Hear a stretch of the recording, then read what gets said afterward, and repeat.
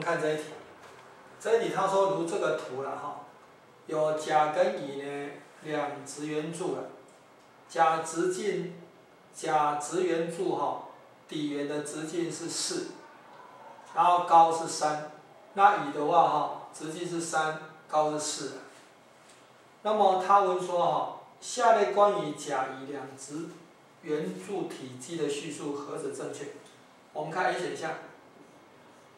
他说哈，甲的体积哈是乙体积的九分之十六倍，对不对？好，我们算算看，甲的体积多少呢？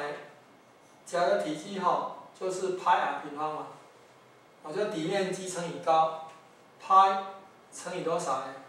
半径是二，派 r 平方乘以三，那乙的体积呢是等于底面积是。派乘以一点五的平方，再乘以四。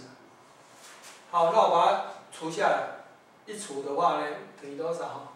这消掉，消掉这个四消掉，二得四了哈，四消掉，那这个就等于多少？就等于那个一点五乘以一点五分之三了。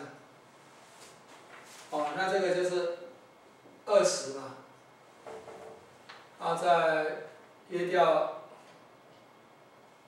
我看到，不对啊，应该是二，不是三除一点五是二啊，啊这个话这是二分之三，所以应该是三分之四，哦应该是三分之四，所以呢甲是乙的三分之四倍，所以呢 A 选项是错的。那 B 选项的话呢是说哈等于多少呢？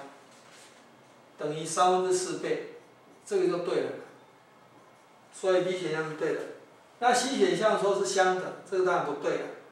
那 D 选项是说甲是乙的呃四分之三倍，这个当然错。